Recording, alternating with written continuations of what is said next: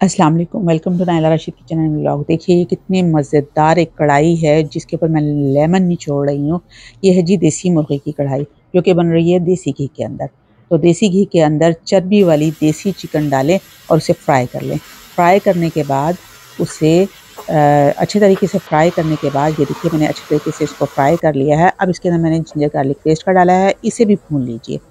जब इसको आप भून लें तो इसके अंदर थोड़ा सा पानी ऐड कर दें आप। और साथ ही आधे आधे टमाटर, पूरे, वो जो टमाटर होता है उसको बीच में से आधा काट के वो इसके अंदर रख दीजिए। नमक डालिए और इसको जो है वो दस मिनट के लिए पका लें। जब इसका गोश्त गल जाएगा तो ये देखिए टमाटर के छिलके अलग कर लें। ये दड़ा मिर्च मैंने ऐड की है, रेड चिली फ्लेक्स और इसके अलावा मैंने पिसा वज़ीरा मैंने इसके अंदर ऐड किया है, पिसी हुई काली मिर्च ऐड की है, हल्दी का ऐड किया है। इसे अच्छे तरीके से भून लिया और जो यखनी बची थी वो इसके अंदर डाली है। अब जितना शोरबा आपको चाहिए आप उसमें रख सकते हैं। और ये देखिए, बड़ी ज़बरदस्त सी ये कढ़ाई तैयार है।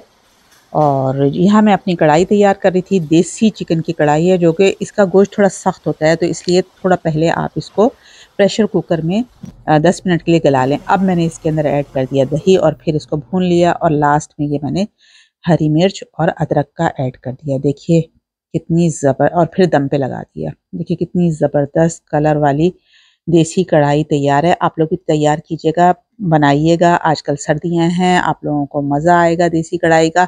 और मैं यहाँ देसी कढ़ाई बना रही थी और वहाँ मैंने अपनी बिरयानी भी साथ में दम देने के लिए रखी हुई थी। दम मैं अभी आप लोगों के सामने ही दूँगी। और मैं बना रही हूँ कीमा और मसूर साबित मसूर की जो दाल होती है, उसकी मैं बिरयानी बना रही हूँ।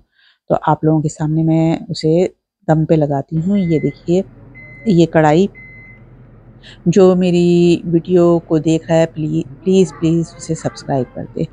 और लास्ट में मैंने थोड़ा सा और अदरक और हरी मिर्चें ऐड कर दी। मेरी वीडियो को एंड तक देखिए आप लोगों को मज़ा आएगा क्योंकि कीमा और आ, साबित मसूर की जो बिरयानी है ना वो भी बहुत मज़े की। देखिए कितना अच्छा गोश्त गल गया है। ये देखिए मैं इसके ऊपर ये टिप है आप चावलों पे दूध जब उसको आप दम दें तो डाल दें तो बहुत ही खिले खिले चावल जो है, वो बनेंगे। ये देखिए, मेरे कीमा और साबित मसूर की बिरयानी तैयार है। और अभी यहीं पे बात ख़त्म नहीं हुई। एक और चीज़ है, गाजर का हलवा भी मैंने तैयार किया है। तो आप लोग वो भी देखिए कि कैसा बना है। और उम्मीद है आप लोगों को मेरी ये रेसिपी पसंद आई होगी, मेरा खाना पसंद आया आया होगा। तो मुझे कमेंट करके ज़रूर बताइएगा कि आप लोगों को ये मेरी कुकिंग कैसी लगी। इंशाल्लाह मैं फिर आऊँगी किसी नई रेसिपी के साथ, किसी नए ब्लॉग के साथ। जब तक के लिए अल्लाह हाफिज़। इंजॉय कीजिए गाजर का हलवा।